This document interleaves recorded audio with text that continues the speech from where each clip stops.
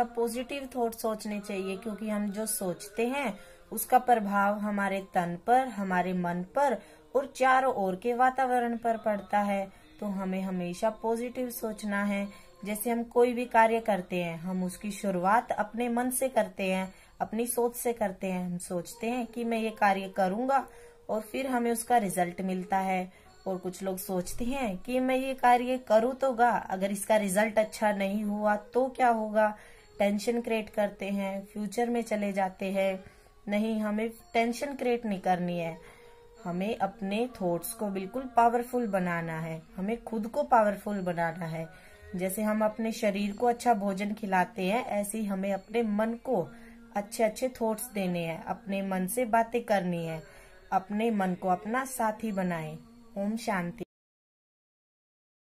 परमात्मा पिता के लिए हम गाते हैं, तू प्यार का सागर है। अब जिसके पिता प्यार के सागर हो तो उनके बच्चे प्रेम से भरपूर होंगे ना। हम परमात्मा के बच्चे प्रेम, आनंद, सुख से भरपूर आत्माएँ हैं। तो हमें किसी से भी प्यार मांगने की आवश्यकता नहीं है, बल्कि हमें संसार की सभी आत्माओं को सुख, प्रेम, आनंद देकर पुण्य कमाना है और सतयुगी दुनिया लानी है। स्वयं को बदले और परमात्मा को अपना साथी बनाए। ओम शांति।